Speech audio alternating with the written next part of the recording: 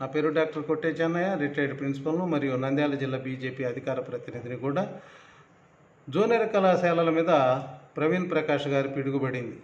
మొన్నటి వరకు అడ్మిషన్ల కొరకు ప్రిన్సిపల్స్ లెక్చరర్స్ ఊర్ల వెంట తిరిగి అడ్మిషన్లు చేసుకుంటే ఇప్పుడేమో మన మార్చిలో జరగబోయే పరీక్షలకు నవంబర్ ముప్పై లోపల ఫీజులు కట్టించాలని చెప్పేసి ఒక ఆర్డర్ వేశారు. అది బాగానే ఉంది. కానీ గత మార్చిలో ఫెయిల్ అయిన ప్రతి విద్యార్థి కూడా ఫీజు కట్టాలి కట్టించాలి అని చెప్పేసి ఇప్పుడు తీవ్రమైన ఒత్తిడి తెస్తున్నారు. న్యూ ఎడ్యుకేషన్ పాలసీలో భాగంగా gross enrolment ratio hundred percent సాధించే సెంట్రల్ గవర్నమెంట్ నుంచి నిధులు వస్తాయట. దానికోసం ఈ తిప్పలన్నీ కూడా. కానీ ప్రిన్సిపల్స్ లెక్చరర్స్ ఈ విధంగా అడ్మిషన్ల కొరకు ఫీజులు కట్టించుకోవటానికి ఊర్లంబడి తిరుగుతుంటే కాలేజీలో ఉన్న పిల్లల గురించి ఎవడు పట్టించుకుంటాడు అది అక్కర్లేదా? కానీ రోజు ఆర్జేడీలు ఆర్ఐఓలు మాత్రము వెంటబడి వేధించుకు తింటూ ఉన్నారు ప్రిన్సిపల్స్ను లెక్చరర్స్ను.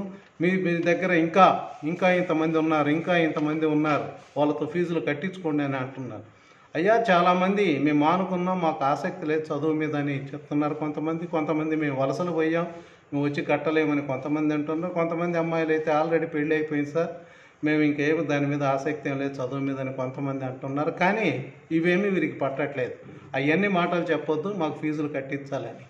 ప్రభుత్వ కళాశాలలు అయితే కనీసం డెబ్బై ఐదు శాతం మందిని చేర్పించాలి కట్టించాలి ఫీజులు. అదే ప్రైవేటులో అయితే హండ్రెడ్ పర్సెంట్ వచ్చినట్టు కట్టాలి.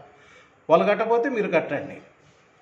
ఒక ఆర్జేడీ అయితే కాపీలు కొట్టిస్తామని చెప్పి చెప్పండి వాళ్ళే కడతారు ఫీజులు అంటారు. ఇక మరొక ఆర్ఐ అంటాడు ఏమి? మీరు తల ఒక ఐదు వేలు స్టాఫ్ అంతా వేసుకొని ఐదు వేలు ఐదు వేలు వేసుకొని వాళ్ళు కట్టకపోతే మీరు కట్టండి అని చెప్పేసి అని అంటారు. ఒక కాలేజీలో కర్నూలులో మూడు వందల అరవై నాలుగు మంది ఫెయిల్ అయిన విద్యార్థులు ఉన్నారు గత పది పదిహేను ఏళ్ళ నుంచి. వాళ్ళందరూ ఫీజు కట్టాలంటే ఫస్ట్ ఇయర్కి ఐదు వందల యాభై సెకండ్ ఇయర్కి ఐదు వందల యాభై కట్టాలి. ఈ విధంగా ఎంతమందికి కట్టగలరు? అది సమంజసం అలాగే మీరేమో ఫస్ట్ తారీఖున జీతాలు ఇవ్వలేరు ఫస్ట్ వీక్లో కూడా ఇవ్వలేరు కానీ డబ్బులు పెట్టి ఆ పిల్లల కోసం ఫీజులు కట్టమని మీరు ఆదేశిస్తారు ఒత్తిడి తెస్తారు. ఇది ఎంతవరకు సమంజసం?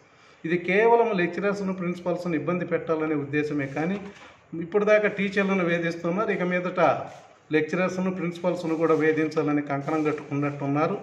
ఈ విధంగా వేధించడం ఇకనైనా ఆపండి. ఇది ఎంతమాత్రం హర్షణీయం కాదని చెప్పేసి చెప్తున్నాం.